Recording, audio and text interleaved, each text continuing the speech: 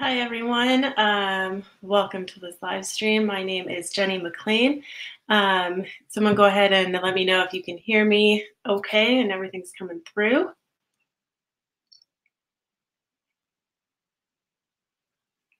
going to go ahead and get ready to share my screen here with you.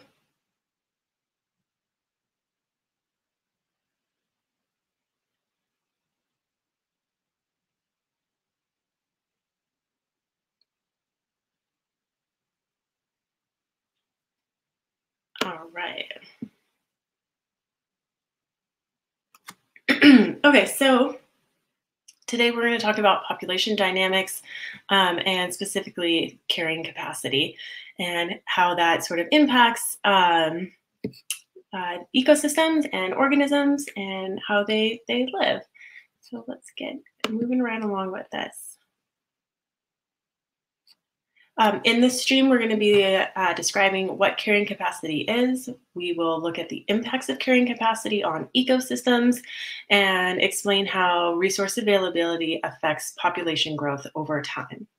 So to begin to talk about what carrying capacity is, we have to look at what is a um, population uh, and what does that exactly mean. So this is something that you've probably seen before in classes. Um, a population is all of the organisms of the same group or species which live in a particular geographical area. So we're going to look at this document a little more here. Um, and what this is is it's i'm sure you've seen this before um, in other classes maybe in biology. This is showing kind of the hierarchy or progression throughout uh, you know our world and how things relate to each other. So it starts with an individual so that's just one single animal or plant and then a group of the same species. So in this picture here is a, um, a bunch of elk. Um, a group of elk living in the same geographical area would be a population of elk. Um, and then a when you look at uh, elk interacting with moose and trees and rabbits and lions and stuff like that, that's going to be a community. So, a community is all of the organisms interacting with each other. The ecosystem, that's going to be now looking at the cycling of matter and energy within that group. So, how does nitrogen move, you know, through the elk and then through the trees and through the air, and how does that all interact together? Um, a biome is those larger um, areas that are all kind of related through similar similar animals, um, temperature, and climate. So you would have like the taiga biome or the desert biome, um, even though maybe one population of elk in uh, the the forest biome is not going to interact with another population just because they're so far apart from each other. But the biome is um, an area that is the same because it has the same players in it, the same type of animals and the same types of plants and, and weather.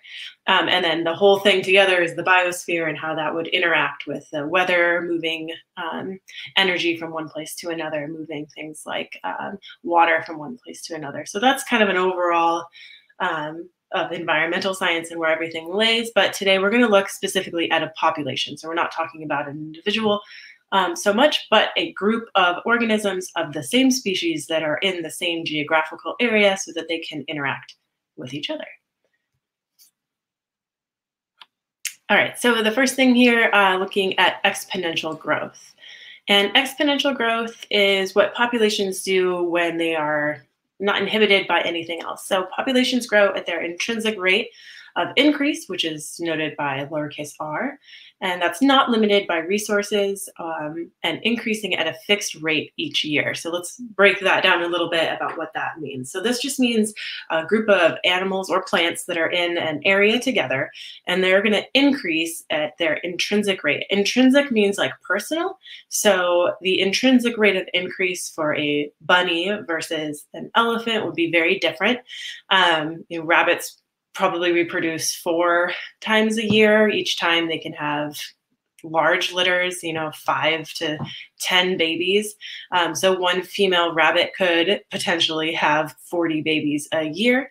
Um, so their intrinsic rate of increase is going to be very fast. So if you had uh, five, you know, reproductive age female rabbits go loose into a new area that had everything they needed for life, um, those five rabbits, you know, could have a hundred new rabbits by the end of the year. So they're going to intrinsically grow very quickly, whereas elephants, um, they don't begin to reproduce until they're much older, uh, 10, 15 years old and they're going to have maybe a total of, of five babies. I'd say that'd probably be a lot in their lifetime. So if you had a group of five elephants that went into a new area where they were going to live, um, they might have one new baby every year as they kind of grow. So the intrinsic rate is going to be different for every single animal, and that's um, just how um, many babies that they have. And our last presentation talked about um, K and R selected reproduction, and that's exactly that. So the rabbit is going to be R selected reproduction, and they're going to be able to reproduce very, very quickly. Um, and then K selected reproduction is going to be much slower. So um, that kind of depicts what type of animals are going to reproduce quicker and have a faster intrinsic rate of increase. Um, and again, this is when there's nothing slowing them down. There's enough food, nothing's hunting them. There's everything is good for them to just reproduce at their fastest possible rate that they could be going at. Um, and that is exponential growth. move on here. So then the opposite, I guess, or what comes after exponential growth is going to be logistic growth. And for logistic growth, that has to do with what is happening to them once they hit their carrying capacity or come near to their carrying capacity. So in every ecosystem, they're going to run out of something eventually. You're not going to have unlimited food, unlimited space, unlimited water. Some resource is going to start to limit their ability to reproduce as fast as they can. Um, so when that blue line begins to slow down, that is when you're not seeing the population increase at its fastest possible rate or its intrinsic rate. It's beginning to slow down um, either because there's not enough space anymore. So, so the nesting birds, they have run out of space. And if you don't have space to build a nest, you can't have eggs, you're not going to have any more babies. So that would be a space determining factor. The other picture is a, a mother moose with her two babies and they're being watched by a grizzly bear. So at some point, you're going to have so many prey animals that the predators are going to be able to start really taking advantage of that and knocking the numbers down. So logistic growth is when that curve goes from that J shape to be more of an S shape. It's also sometimes called an S curve. And that's because it does sort of look like an S as it levels off towards the top there. Where it levels off and becomes flat, that's carrying capacity. So the total number of animals or plants that an ecosystem can support is the carrying capacity. Um, let's see here. So hop over to, oops, lost thing. Here we go. Um, so carrying capacity, uh, the limit of individuals the environment can sustain with the given supply of food, water, and space, or competition and predation. So eventually, the animals or plants are going to run out of food, water, space, or they're going to fight with each other for those things um, or be eaten by predators, and their numbers are going to level off. And that is what carrying capacity is. Carrying capacity is denoted by the letter K. Now, typically though, uh, like ecosystems, animals don't just hover at that exact flat area when they level off. Um, it goes up and down. And so that's what overshoot is. So typically um, organisms are going to be like, whoa, whoa, we're out of food here. Let's maybe not have as many babies so that we have enough to go around. It'd be really great if they planned things out like that, but it's not exactly how it happens. Typically, um, there's going to be an overshoot. So you're going to have a population of animals or plants that are going to grow kind of out of control at that intrinsic rate and then all of a sudden you're going to be short of something short of one of those resources and that's what um, overshoot is so that overshoot is that growing too high um, for what the population can sustain. And then there's going to be a dieback. And the dieback is often going to be sort of catastrophic because um, the population ran out of whatever it needs for them to be successful. And a lot of individuals then at that point typically um, die. And let's see, I'm to see if I can get a video working here. Not sure if I'll be able to, so let me see. I can figure out how to do this here.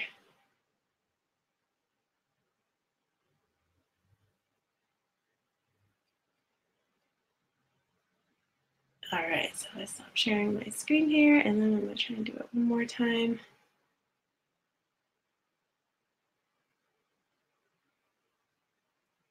All right, so let's see if we can get this going. Let me know if you can hear this video. The periodic migrations of lemmings are an unusual example of how the balance of nature is maintained within an animal population. These lemmings inhabit the bleak tundra of Norway.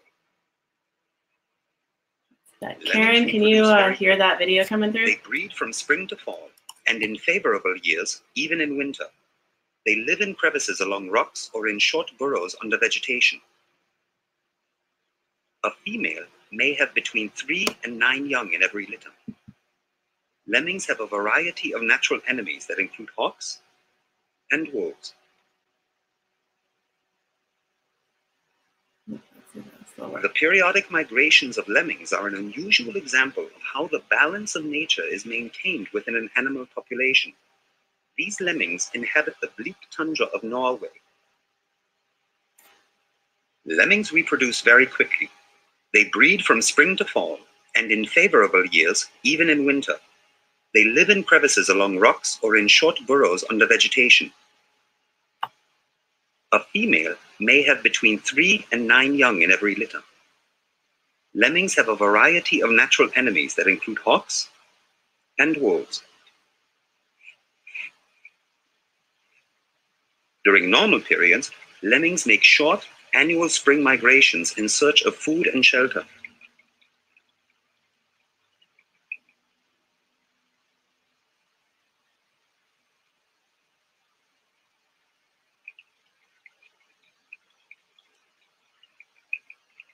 Once a suitable area is found, the lemmings settle in and do two things necessary for survival. The first is eating. Lemmings subsist entirely on the roots and shoots of plants. The second thing lemmings do is reproduce. As more and more individuals are born, the food and water supply begins to diminish. Every three to four years, the populations in some localities grow to great densities. In response to this overcrowding, lemmings exhibit a very specialized behavior. Individuals begin to migrate away from the centers of dense population. They group together and move in detectable waves across the countryside. Wherever barriers block their passage, they tend to crowd in increasing numbers until a sort of panic reaction drives them over the obstacles. The migration impulse affects each individual, driving them to keep moving. If a stream or river interrupts their path, they swim across. Many die during migration, perishing by predation, starvation, or accident. Occasionally, some reach the ocean and plunge in, once again, they begin swimming. They act under the same impulse that forced them to cross smaller bodies of water. Swimming until exhausted, all of them drown. Through this migration and mass drowning, the number of lemmings is checked. Scientists do not yet completely understand how this behavior has continued over the centuries when so many of the emigrating lemmings die. All right. Um, hopefully you could see that video. Um, it's just a really good example of what happens when a population does hit that overshoot. Um, and those lemmings, uh, they reproduce very quickly, and it's at every three to four years, they overshoot their carrying capacity and they run out of food, so they have to try and migrate to a new area. Um, and then they have this really crazy tendency where they all sort of gather at the ocean and then just jump in and die. And it's sort of strange how they've evolved to do this behavior every three to four years, and they're not extinct. Um, they're sort of known for this awkward jumping in the ocean thing, but it's a really good example of animals that overshoot. They get rid of all the resources in their area, and then they they have to have a large dieback in order to uh, sustain a smaller population. Um, let me go ahead and share that original screen again with you. All right, there we go. Um, okay, so yeah, that is um, Overshoot. And so that's our little cartoon there of the lemmings uh, giving each other a rating as they're jumping uh, into the ocean. But um, so yeah, so that's a good example of overshoot and dieback and what happens in populations um, when they do run out of those resources. Um, because of that, uh, the lemmings are another good example. It said, it said, every sort of three years they do that uh, overshoot and dieback. And what that causes um, are population oscillations. And an oscillation just means that it's going up and down.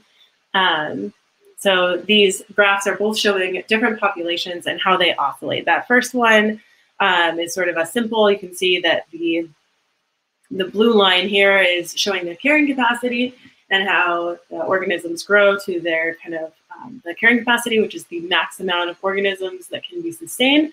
But the population in reality doesn't just stay there. It's going to overshoot and die back, overshoot and die back. Um, and that's often because of what else is going on in the ecosystem. And as we know, there's no ecosystem that stays the exact same every single year. And that change or those changes are going to cause other populations to kind of jump up and down. So if you look at the other one, the kind of yellowish colored one, that is rabbits and lynx or hares and lynx. And that's just a really famous example of how these different populations kind of flow together. So let's say there's a really good year of rain, then you're going to have a ton of grass growing and different things that the rabbits are going to eat. Rabbit population is going to shoot up because that ecosystem carrying capacity goes up. It's now able to hold more rabbits than it normally would because of the increased rain and the increased plants. And then subsequently, the same thing happens to the lynx population. It is able to hold more lynx because there's more rabbits to eat. Uh, but eventually, the grass is going to die. Maybe next year there's a drought. There's not as much rain. There's not going to be as many rabbits, and then there's not going to be as many lynx. So those uh, oscillations often go with what's going on in the environment, either uh, something that has to do with the weather, or something that's going on with a prey item, or a predator, or it could even be an introduction of an invasive species, or humans, or hunting season, different things like that. So, um, although we look at population and carrying capacity as being like a straight line, in reality, it's not. In reality, it's an oscillation going up and down over and over again, dependent on what's going on in that environment. All right, so we're going to look at some factors that influence populations and how they are changing over time based on um, like the different hardships that occur to those populations. So the first one is um, density dependent factors. And density dependent factors um, are something that influence an individual's probability to survive dependent on the size of the population. So that's what we've been talking about. Um, carrying capacity, those are all influenced by density dependent factors. So that's going to be food, water, um, shelter, space, uh, things like that. Maybe predators, that's all going to be density dependent. Density independent factors are things that have the same probability of impacting an individual regardless of the size of the population. So that's going to be if it's like something that doesn't matter if there's one uh, giraffe there or a thousand giraffes there, they are all going to be impacted um, by something happening. So an example of that would be like a storm. Um, doesn't matter how many individuals are there. If a strong storm comes through and damages things or like, kills organisms, then uh, that, so that would be fit in that one.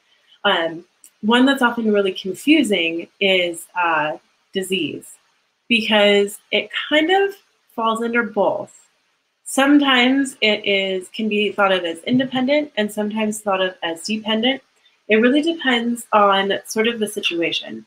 So um, how close you are to other organisms might make a disease be um, more sus- like susceptible to that disease. So, um, like we all know, you are much more likely to get sick when you are going to school and you are around a bunch of other students who are sneezing on door handles and you're touching them. Um, so that would be uh, density dependent. Whereas if you just stayed home all day and never talked to anybody, you're not going to get sick because you're not going outside. Um, but sometimes diseases are things that can move around in ways that aren't necessarily dependent on how close you are to other organisms. So sometimes um, diseases can not, they can be an independent factor. So that one is sometimes you have to really pay attention to the wording of the question or exactly what is being asked um, on that and how um, that comes up. Sometimes if it's more of like a um, inherited disease sort of thing, that's a little bit more negotiable whether it is dependent um, or an independent factor. But for the most part, um, independent things you're going to look at uh, is like storms, volcanoes, things that would just like take out an entire population. Um, doesn't matter how closely together they are to each other. Um, and dependent things are the things that are influenced by carrying capacity, so food and water. Um, right. All right, so we're going to do a little bit of review on what we talked about here for carrying capacity and how that is influenced in an ecosystem. Um, so identify all of the following options that are true. Go ahead and post that in the comments section. All of the following of those options that are true. Um, so some populations grow without restraint as long as resources are not limiting. The size of some populations tend to remain relatively constant over time.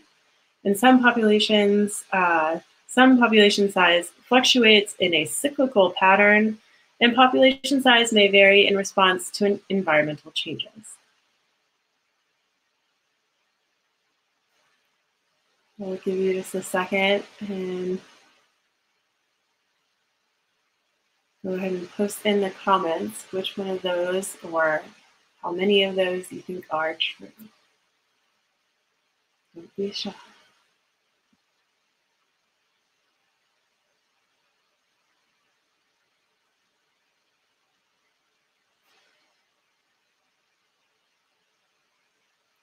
All right, guys. Um, you don't have to post it. Um, the the answer for this is all of them are true. Um, so populations grow without restraint as long as resources are not limiting. That's all populations are going to grow again at their intrinsic rate as long as nothing's limiting them. Um, the size of populations tend to remain relatively constant over time, um, and that's true. So they're going to hover around their carrying capacity over time um, as long as nothing catastrophic happens. Um, it's going to take them out or, you know, um, make the population explode if there's a new introduction of a new resource or something. Um, populations fluctuate in a cyclical pattern. Cyclical means like uh, circles. So that would be that up and down circles around carrying capacity. So that is also true. Um, population size will vary in response to environmental changes. Um, absolutely. If there's a drought and there's no more water, you're going to see a population crash. Or uh, if there's a new nutrient introduced into the environment, you might see a, a huge algae bloom, and that's going to set off the whole ecosystem, and everything's going to grow. Populations are going to get higher. So, um, environmental changes really are the base of what is supporting that ecosystem and will change the size of it. Let's give this one a try. Um, identify all of the following that are true again. Um, in an ecosystem's carrying capacity, sorry, an ecosystem's carrying capacity for a population is determined by space, energy, water, food, or climatic events like storms. So an ecosystem's carrying capacity is determined by space, energy, water, food, and climatic events. And then would pick all that are true.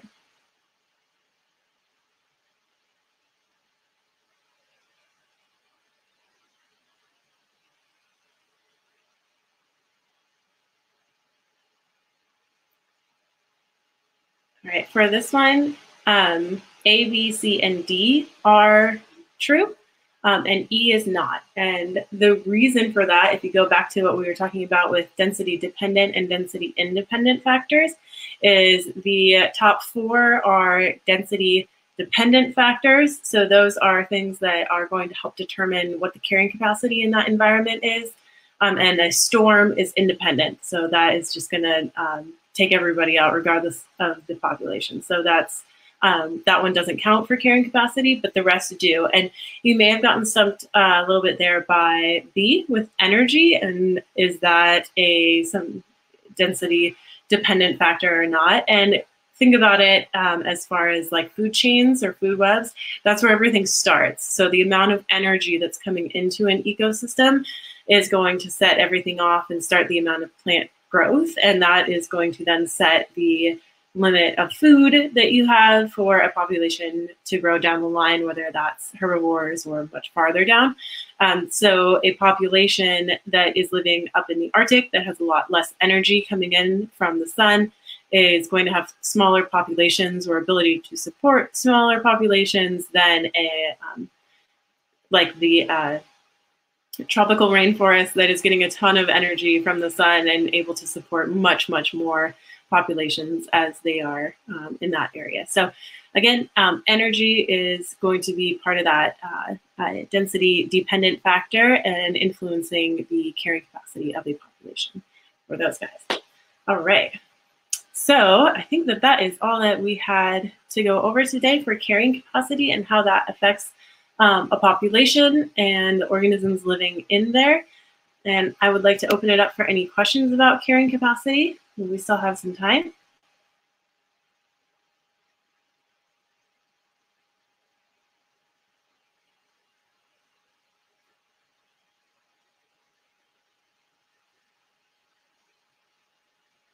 All right, guys. Well, if there are no questions um, or nothing else that we want to go over for populations and carrying capacity, then we can go ahead and call it here.